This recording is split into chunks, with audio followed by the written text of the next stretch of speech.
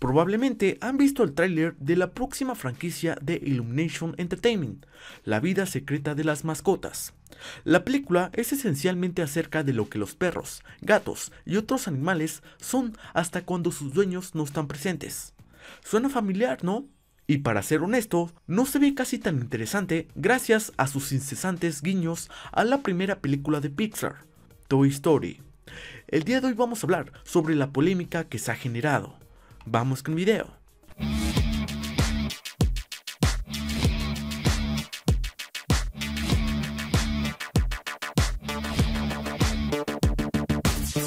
¿Qué hacen las mascotas cuando sus dueños no están ahí? Esta es una premisa genérica que las películas han utilizado durante décadas, no solo de Toy Story. Pero yo no estoy en contra de un estudio diferente pruebe algo nuevo con el concepto.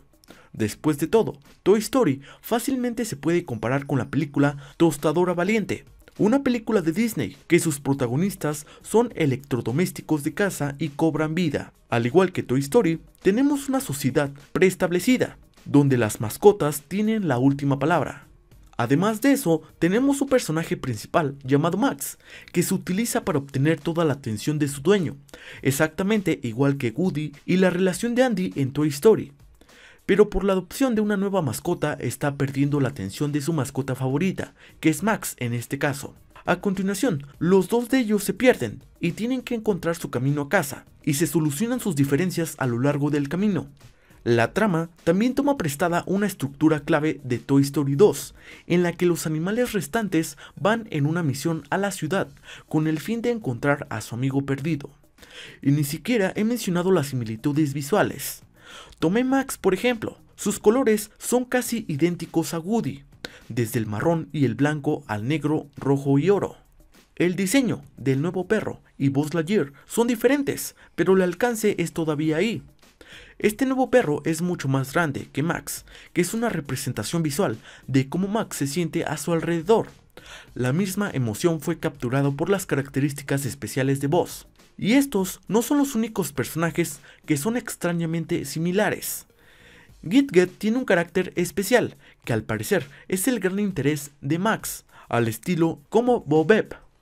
De hecho, todos los personajes secundarios tienen un parecido razonable cuando se trata de compararlos. Y eso todavía no es el final de la misma. No solo comparten muchas similitudes básicas de la trama, incluso algunas de las escenas son arrancados directamente de Toy Story.